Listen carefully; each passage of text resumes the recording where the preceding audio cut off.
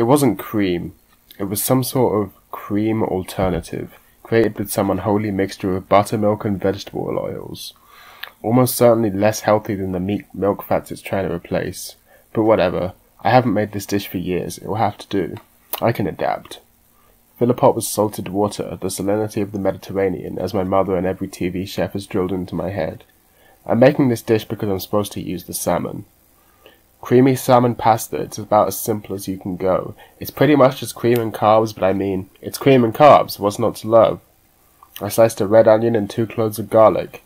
I like them a bit chunky, but you're not supposed to. If I was cooking for someone who I thought would care, I would have made smaller cubes, but I like onions more like strips in this case. The water boiled and I put my portion of penne in. The anxiety begins as I try to guess the timings where everything would be finished at the same time. I always suck at that. In this case, the fear is that the salmon overcooks. You don't want that. Saute the onions and garlic in olive oil first, and once they soften up, pour in the double cream, or in this case, cream alternative, and cubed salmon. Cook until the salmon is done and the cream cooks down a bit. Add some pasta water to the sauce, drain the pasta, then stir the penne into the sauce so it's fully coated. Make sure to grab your keys and go answer the door because the doorbell just rang. It was a package for my mother. The mailman kept his distance. Fucking yes, this pasta is just as good as I remember it. The cream inside the tubes of penne is just perfect. I seasoned it perfectly. The pasta is perfectly al dente. God, I'm a fucking good cook. It's cream and carbs. You can't go wrong. Why are all the things that taste good also things that make you fat? How come people are just okay with subjecting themselves to worse food every day because what? Aesthetics and health? They seem to just adapt to it, I guess. Also, weirdly, this cream alternative is pretty much fine. It's still rich and nice. My ThinkPad was auto playing my YouTube Watch Later playlist as I was chowing down. The Bon Appetit video ended and Alcohol on Sundays Red Stripe began. I've been rewatching some classic era After Dark videos because my friend Princess Plunderphonic suggested it. I realized I'd never seen the Alcohol on Sundays videos because I don't care about other people's opinions on the taste of beer. Turns out Digi doesn't care either, which means this is surprisingly watchable. Or listenable, rather, because I'm mostly focused on this perfectly, and let me stress, perfectly seasoned pasta sauce. God, I am so fucking cool. I tried to slow myself down because when I eat too quickly, I get tachycardia, especially from a carb heavy meal like pasta. My fork scrapes bare plate and I polished it off. A bit bigger portion size than I had intended, but it wasn't really a big deal. Now my mind collects itself from the orgasm of salt and fat and the contents of this YouTube video begin to become comprehensible. You know what? I would like some booze. I'm a bitch for parasocial pressuring. When I see a character in a movie smoking a cigarette, I want a cigarette. When I see someone drinking, I want a drink. It's like my memory is jogged and I notice, oh yeah, that would be an activity. That's something I could do. Nice. I only have vodka in the house. Vodka is great, but it only fits one purpose. If you're drinking vodka in any way, you're going to get drunk. When I make mixed drinks, I want to taste the alcohol. I like the bite at the back of my throat. So I'm gonna get drunk. I don't want to get drunk. I want to sip. I want to chill. Beer is the only option. But I only have vodka.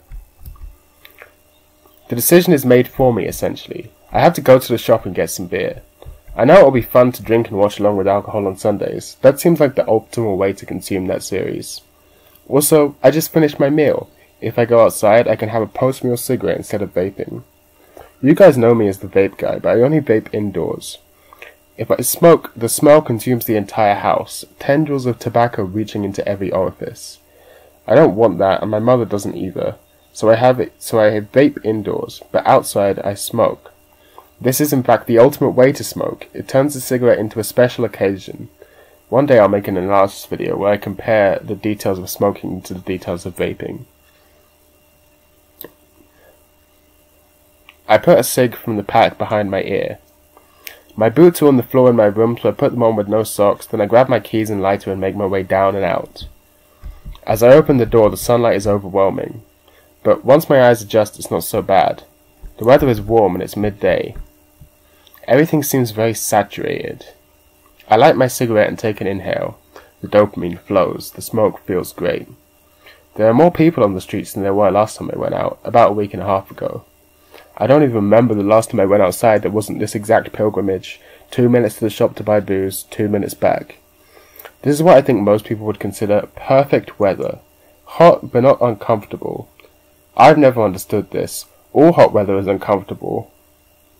There's no ambulances this time. Last time there were three. I'm convinced they're just running them non-stop to keep people scared. I reach the shop and beeline to the beer. Now, I wonder if any of you have noticed something has happened here. Did you catch it? I didn't. Well, did you? Let me rewind. I grab my keys and lighter and make my way down and out. I grabbed my keys and lighter, not my wallet though. Fuck. Are you kidding me? I storm out of the shop muttering about forgetting my wallet out loud. I'm walking back to my house. How did this happen? This is annoying. I think most of the time when things like this happen, people just think, well, these things just happen. People just put up with inconveniences. Only people like us who have spent time away from this place know that it doesn't have to be. In my native environment, there is no forgetting stuff. If you forget information, it only takes as long as typing your query into a search bar to remember it. And forgetting an object? A file manager is only a couple clicks away, or a terminal is one keybind away. Everything is within arm's reach at all times, and infinitely copyable. Only once you've been away from this do you realize that you shouldn't have to live with these minor inconveniences. I unlock the front door and walk up the stairs. Why is this okay to most people? Am I the only people who would think this is a problem? Am I the only person who would think this is a problem? Space is a problem? Why can't I just teleport my wallet to where I am? I unlock the door to my apartment, walk into my room, grab my wallet from my desk, and he'll turn back out. Is this a me thing? Why does this stuff always happen to me? I think people just accept all sorts of stupid things because it's not killing them. I remember the years before I discovered AdBlock. I was completely okay with just putting up with ads on the internet. I just considered it something you had to put up with. But now, there's no way I could go back to being inundated with products constantly. I think this really gets to the heart of the human problem. Humans are too adaptable. People easily adapt to a shitty 9 to 5, and they're so adapted they don't even notice their life has been worthless until it's too late. This is the origin, proto-Abrahamic concept of delayed gratification.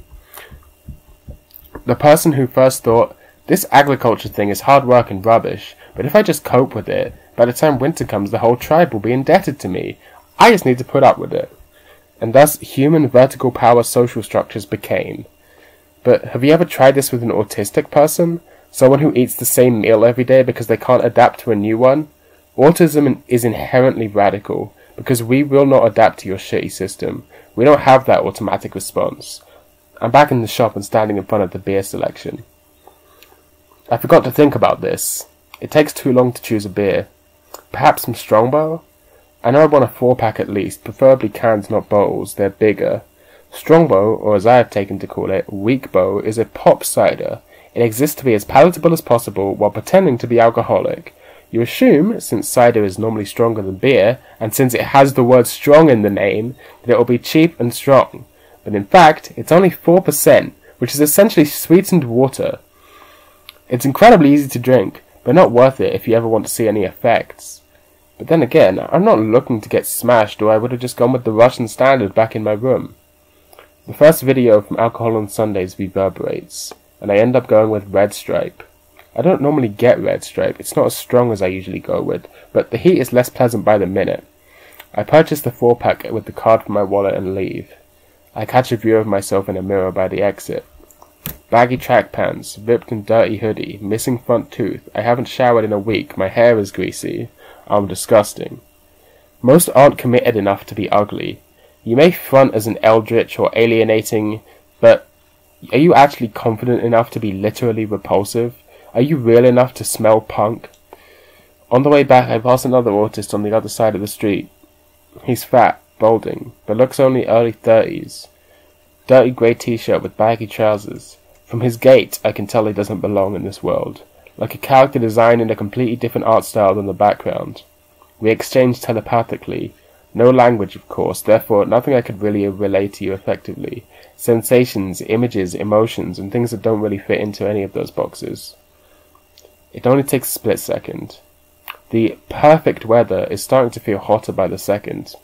I don't exercise. This is too much. All of the sounds are too loud. The people are too there. They exist too much. I don't want them to. Take your fucking baby stroller and run it into the street, you fucking sunglasses wearing typical. The cars all sound too different from each other. How am I supposed to background them if they're so apparent? The first beads of sweat from the uncharacteristic exercise and heat is making my shirt touch my skin in a way I don't like. I don't want to be here. How do people put up with this shit? My beers are looking more appealing by the second. I get in. I sit down. I take my shoes off. I crack open a beer. I open a text document. I type. Then I sit back and sip a beer for a while, finishing off this series. Alcohol on Sundays. I have to check my phone. I don't even know what day it is. Friday, apparently. God knows what that means. The only alcohol review show that I know of. This is recorded in such a way that you can watch me get progressively drunker each week as I've been. Yeah.